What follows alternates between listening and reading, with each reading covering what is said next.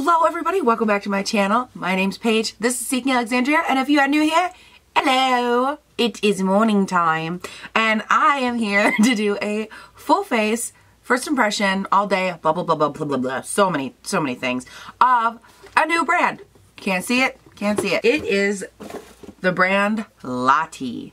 And this I believe is new to Ulta. I don't I don't think I don't think it was Sephora. I don't I don't think I don't really know any of that kind of stuff. I try not to get too wrapped up into like the where it's new to because I feel like there's always gonna be like a feud. It's like a Montague Capulet type thing. Sephora, Ulta, Sephora, Ulta. But these I bought from Ulta. It's the whole brand. I have I think everything in here. I so we're gonna try it out today, see how successful hopefully successful it is because I have to go to work all day and I don't want to look that bad. Let's sort through some products, jump right in, talk about some stuffs. I'm excited. Okay, so if I was primer, where would I be?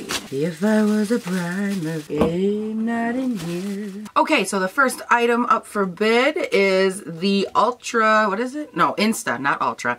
Insta Filter Pore Eraser Stick, again by Lottie. These are all by Lottie, so I'm not gonna hopefully say that every single time. But the brand is spelled L-O-T-T-I-E you know, in case you're one of those people like me that goes to Ulta website and tries to type it in and, you know, can't because they spell everything wrong. it's a hard life. okay, we come in a stick. We look like Elmer's glue, like legit Elmer's glue. Do you see that? Oh man, is this gonna be a fun time. We're just kind of smearing on our face. Oh guys, that feels oily. Eh. Oh good. Yeah, well, you know what? Hold on. Take a look at this. There are like little tiny chunkies. You probably can't see them because they're white, so I bet that this light coming in just takes them away. But there are little chunks all up in here not enjoyable. Okay, so let's just, let's just get rid of this. Yeah, like this right here. That's a great example, actually. Do you see the chunks on the side of this container thing?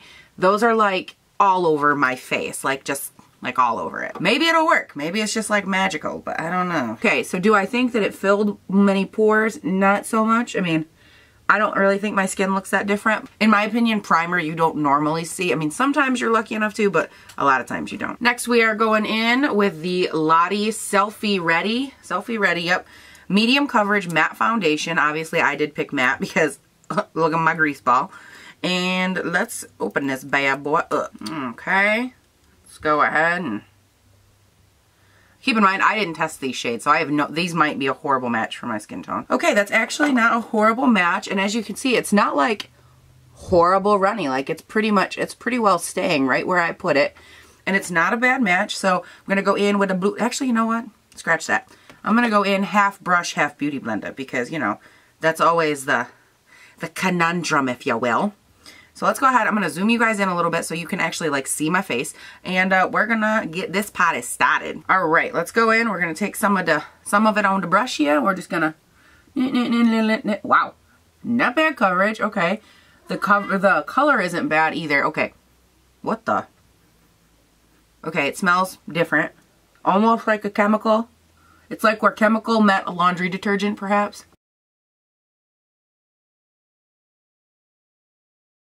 So, okay, this right here, wow, that looks crazy to see the difference, but this half is like one thin layer. This one has nothing, as you can tell, and um, I feel like it did give a little, like a nice little bit of coverage. I actually like, because I feel like it has like a sheen to it, and I don't know if it'll pick up on camera or not, but it has like almost a luminescence in it that I'm very not used to with um, matte foundations. But I do like it, and I love the way that it went on with a brush. I feel like it did like a very nice finish. I'm going to do the other side, like I said, with a beauty blender. I will come back on, let you know in a second if it was any different or not. But we will find out. We will get to the bottom of this. So I went in half and half, obviously brush, beauty blender, and I feel like I almost like the beauty blender side better. It, it, like I feel like my product actually went a little farther, which is pretty uncharacteristic for beauty blenders, but it it just I don't know. I feel like it pushed into the skin a lot nicer than this side. This side looks good, but I just feel like this side in person is like a hair better. So I'm going to go through, I'm going to fix both sides, and then we'll move on to concealer. Hang tight. Okay, guys, I went ahead. I did roughly two full coats. I mean, like two coats. Sounds like I'm painting a portrait. But actually, I really like the way that this looks right now. I feel like it looks natural, slight dewy, but yet I can I can feel that it's more mattifying. I like that. I don't know. I'm so intrigued by this foundation right now because normally like a mattifying foundation immediately begins to like suck the, you know, out of my skin. And this is like doing the opposite. And I don't know, I feel like my nozzle area is looking pretty snatched. Like it's getting its skin somewhere. It's like, hey girl, hey girl, you don't gotta hate on me today. No creases all up in here, which is shocking because normally, like right away with my foundation, I'll get crease lines like in my nose because you know my nose is like city of New York wide on my tiny little suburban face, and it's like okay, well I don't have a small face, but anyways, concealer. Next we have the You've Got It Covered concealer in the shade Fawn, which again is the lightest shade I believe I could find. Yeah, so that's like too dark. Like that's darker than foundation for me. Um, so I will not be able to use this. I'm gonna have to go in with my Shape Tape, which really bums me out because I was, I love new concealers. I am going to go ahead, I'm going to Shape Tape, I'll be right back. Okay guys, I went ahead, I Shape Taped around the eyes, a little on the chin, the nose to the forehead, and I actually have to be honest, the Shape Tape and this foundation work very well together. They just blended in so well, which as you know, um, girl, if you can't hang with my Shape Tape, you cannot be hanging with me. And so far, so good. So I'm very happy about that. Next, we are going to set that with the Lottie setting powder. I'm actually kind of excited. It's Ready, Set, Go Matte Translucent Finishing Powder. I'm going to take some with my damp beauty blender. I'm going to put her up under, oh, oh, I poofed in it. I went poof and it went all over. Okay, I usually like to use my damp beauty blender anywhere I put concealer just because I don't ever want to like disturb those areas too bad with a brush. So I like to kind of get them first. And then I'm going to go in with a brush, put a little tiny bit on it that's going to go all over. And I'm going to just kind of dab the rest of it on my face. My face and like foundation and everything, it separates really easily and I'll end up with like weird patchiness all over my face. So I tend to like dab on layers instead of baking. I used to bake all the time. As you guys know, you've seen it. And I noticed that as of late, at least, I don't know if my face is just like going through a midlife crisis, but it does not enjoy the baking process. You guys, I can't even. Like this powder, it's nice. But my nose looks really good. Like the highlighted areas stayed really nice and highlighted. I am impressed, guys. Okay, there was no eyelid primer, I don't believe, by this brand. And at least if there was, I don't have it in all the crap that's sitting around me. So I'm going to go ahead, I'm going to prime with my Urban Decay Primer Potion. All right, and then I do go in and I usually set that with my setting powder. Alrighty, next up is the Lottie London Arch Rival Brow Artist. I got this in the color dark. This is what the pencil looks like. And it looks like you got your standard spoolie. Ooh, that's a nice spoolie. Guys, I'm a sucker for a good spoolie. Y'all know it. And then here is the little tiny pencil at the end. Nothing crazy. So I'm going to go ahead and let's get started. Okay, I did one brow. And you guys, I actually really love the color of this. And I like the formula of this pencil. Like, I did have to push a little bit harder to get the pigment to come through. But what I really like is that it's a it's not like an oily slip, so something to note, but so far, so good. I'm gonna do the other eye. Okay, so I think I'm in love. My brows are fleeking, like, they, I would actually go as far as to say they actually look kind of like sisters today. Okay guys, next up is the Lottie Shadow Swatch, and this is the, the Rusts palette.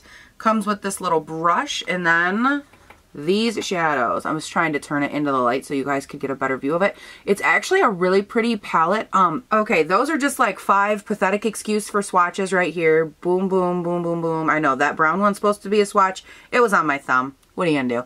But overall, they are swatching really beautifully. Ow, just hit my elbow. I'm gonna take my fluffy little cor corner, stop, crease brush. One thing I don't like is that I can't bend it backwards, so like I'm stuck holding it like this and then trying to see the shade, you know what I'm saying? Like, I'd rather be able to bend it backwards, but I actually do like the, I know it's plastic packaging, but it's it's like at least sturdy plastic, so I can kind of appreciate that. Nicole, I'm to go in with the shade Nicole, which is right here. But anyways, so while I do this, while I pop that in the crease there, um, the reason I wanted to review this, A, not just because it just came to Ulta, but because it is also, um, a good mix of like drugstore pricing.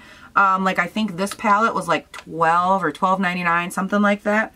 Um, all but the Lottie brand is a much more affordable brand than a lot of the other ones that I saw that were that have been new out to the market, like all these high-end brands, which I do have another brand, Note, N-O-T-E, and I will be doing a full face or as full face as I can with those here soon. Um, I also have a bunch of stuff from Color CoverGirl that I'm going to do a full face on because I try to get like a good spectrum of price ranges. I, I know I get pissed off when I watch people and they're like, everything that they do is super expensive and I'm just like, okay, what if, how about you find me a mascara that's not $45? Thanks. Okay, next I want to go in with, how do I want to do this here? Kind of, I'm like dying to go in with this second to last shade over here. I'm just like dying for it. And it's in the shade Jenny. I'm still Jenny from the block. Used to have a little, now have a lot. Oh yeah, except that's not true. Their shadows are blending really well. So this eye has the Jenny shade. This one does not. And it added just like a really nice like sultry color. I'm not going to say that their shades are super pigmented because they're not.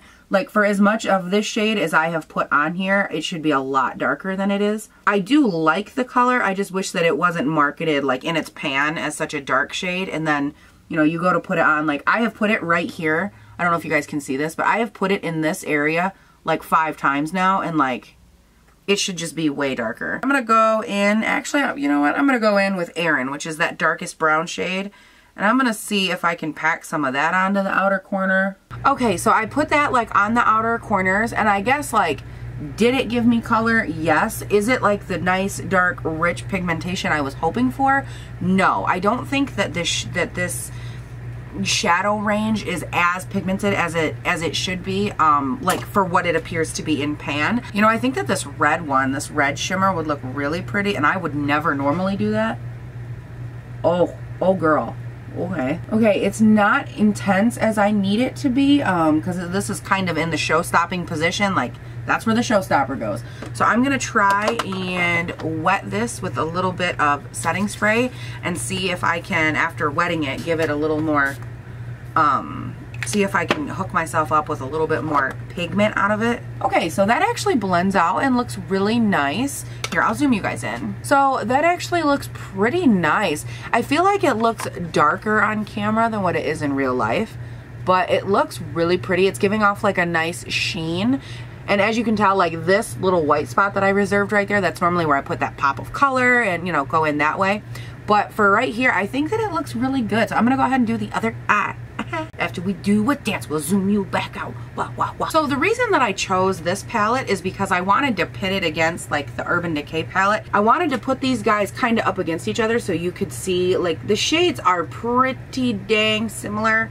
Um, I mean, as far as what you get, obviously up here, this is the Naked. Down here, this is the Lottie palette. I wanted to do this to see, like, is it a dupe? Is it something that, you know, maybe would be a good switch out for the Urban Decay one. Um, and obviously no, like Urban Decay, this definitely has the better pigmentation, better, I can't say better blendability because these did blend really well, but their pigmentation was not on point. This palette I have used several times and it is pretty on point um, for what for what I would expect from Urban Decay. However, this was like $12.99. This was like $54. so is it a dupe? No, but I gotta be honest, like for someone looking for that that same like red smoky fire vibe that this one's kind of shooting for, this isn't, the Rust palette by Lottie is not a bad not a bad option. I, but I just wanted to kind of let you guys know those were my thoughts on that. That's why I chose this palette because I thought it looked similar to this one.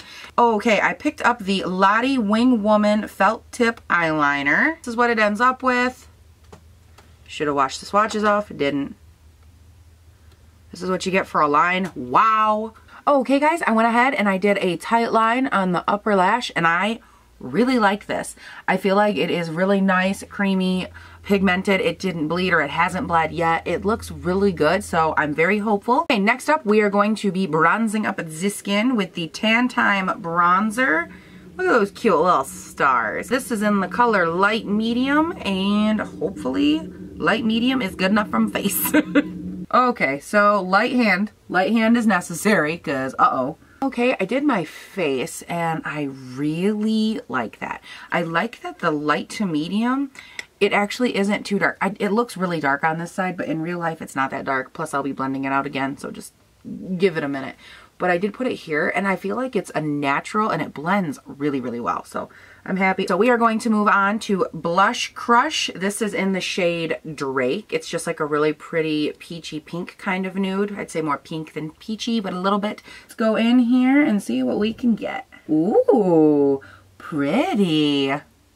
It's like a really nice, like natural kind of blush, but I really like that. Okay, all right, girl, I pick you. I gotcha. I like that color a lot. Um, there was no setting powders or no setting sprays by this brand that I could find on the website. So I'm going to set it with the Skindinavia finishing spray for oily skin. I'm just gonna let that sit for like a second and then we gonna start the mascara. We are going in with the Lottie London hashtag lash goals Ultra Volumizing Mascara. This is the packaging, really pretty blue, like metallic-y. Let's see what the brush looks like. Oh my lord. Um, it's a wiggly Christmas tree and I wish I was kidding. Okay, do you guys see what I'm seeing right now? Like, that's concerning. That looks like a legit pipe cleaner, but like thicker than a pipe cleaner. This is by far the weirdest shaped brush I've ever used. Ow. And I just stabbed myself in the eye with it. Mascara went everywhere. Great. Okay, guys, I wanted to come back on here and let you kind of see the mascara. It's actually a very nice buildable mascara, which I really appreciate. I left all the marks all over because I really wanted you to see, like, I, that brush, I it went all over. Like here, under here, on the side of my nose, up on my, up here, down here. It went everywhere, everywhere. Was it a buildable mascara? Yes. Um, did I like the length, definition, all of that? Yes. Do I think it could have been accomplished without such a cumbersome brush? Yes. Because I felt like there was almost no way to hold this. Like it just took me way too long to put on my mascara. So I have to let these dry. So I'll be back in a second with these gone, hopefully. As I'm sure you can tell, I look a little bit different. Camera was not recording. Joy to the world. Okay, okay. I went in with this um, the Shimmer Squad Duo that they have. I went in and I, okay, stop. I used this bottom shade, the Troublemaker, because of course I have to have like the most poppin' highlight in all the land. And that thing is just, oh, that's a gorgeous highlight. Like I'm obsessed. I like, I want to blind a plane with my highlight. Like that's how intense I want it to be. I don't want anybody to get hurt on that plane. I just want them to be like, oh, what's that? What's that? that that's Paige's highlight. Um, so I like this. I like the quad. I actually really like, like they, these things are pigmented as all get out. The pigmentation on these is actually really nice. Um, it does show a little more texture than I would uh, typically like, but I mean, it's gorgeous, so I can't be too upset about it. I used the Slay All Day Longwear Lip Pencil in the shade hashtag TBT, which throwback Thursday, I'm assuming, or throwback to like, I don't know, the 90s. Look at this color.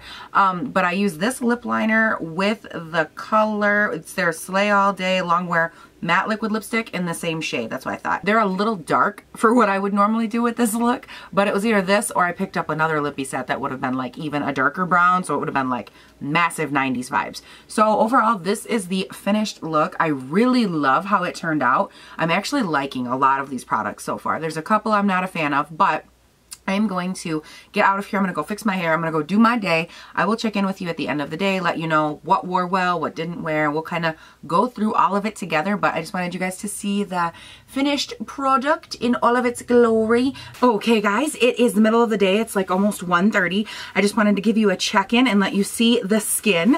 It is looking pretty good. It's oily. Don't mind the dots as always. Um, but it's looking kind of shiny, but the foundation itself looks so good. Like, there's no breakage like around it. It's not separating. It's not like pulling my mascara. I'm super impressed so far. The lipstick obviously has faded like I ate lunch, yada yada. I'll reapply that here in a second. Um, but I just wanted to check in with you guys and let you see that it's looking pretty freaking good. So far, I'm impressed. My normal, like, everything by now has already faded and come off and it's just like such a drag. So I'm really happy with how this is looking so far. My highlight is still popping like whoa Nelly. So I will see you guys at the end of the day, but I wanted to stop in, let you take a look at my face, and I'll see you guys at the end of the day. Okay? Okay. I'm so sassy today. I'll be right back. Okay guys, it is officially the end of the day. It is after 7 o'clock, so this has been on my face for over 12 hours. I'm beyond impressed. For the price of this foundation, I cannot get over, like, it wore better than almost all of my foundations. Like, I am... I'm insanely impressed with how well this wore. I blotted it once at like I don't even know, it was probably like two or three hours ago. Um, and it, that I didn't have to blot it. It's been really like, it's very light on the face.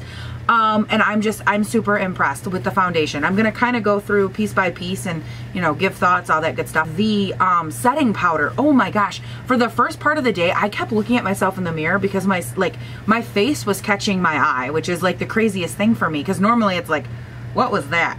But I mean, my face has a lot of texture and pores and things like that that you can see.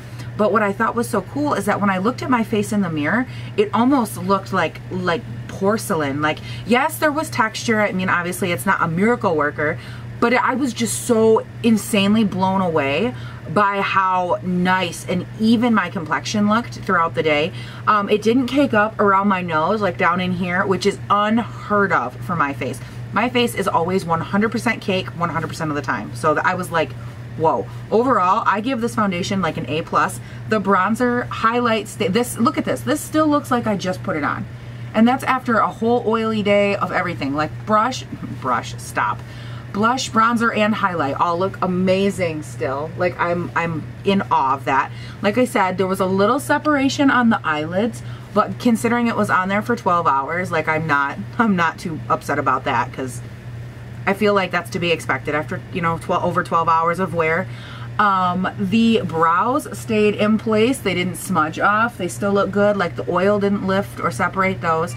Um, the mascara looks great still. My eyelashes only fell a tiny bit, but they're still really nice and, you know, up in, the, in this direction. And the liner, which was like shocking to me because a lot of times as the day goes on, my lids get oily, it transfers to the liner and then the liner ends up up here, like on my upper lid. And there was not, there wasn't even like a dismiginable, dis, like tiny a bit of transfer. I feel like this makeup was super oily face friendly. I loved the lipstick. Like I said in the last clip, like I did wipe it off. I ate lunch and I just didn't reapply because I was super, super busy. But even the lipstick wore really well. Like it lasted through pizza, which I was just like, what? That's a thing? But it did. And I was like, really impressed. The color was really nice, pigmented, and it didn't like ball up or get gummy, which was really nice. Overall I I recommend this. Like the only thing I hated was the wand on that friggin mascara. This is probably the best full face first impression I think I've ever done. I'm I'm through the moon. I'm gonna wear it a couple more times and if I end up loving it you'll see it in a favorites video at the end of the month. But other than that I'm just like whoo impressed and that highlight is blindingly happy. Like like I said I'm a highlight blinder person and like this is just the, it's it's so great. I'm so happy. About time that noisy ass air conditioner shuts off. Good lord. Okay, you guys, that is it for this video. I hope that you've liked it. I hope that it was helpful in some way or another, or you just got to watch me like, you know, do my face. Who really knows? But I hope that it was relatively useful in your life in one way or another. As always, I will put the social media handles in the description box below because we both know, that totally rhymed, that you want to be my friend on social media. I'm a great singer. Thought about going pro, but you know, never got that far. I hope that you have a great day, night, weekend, party, like whatever it is that you end up doing. I don't know, but I hope that you have fun doing it. And I will talk to you guys all later. Bye!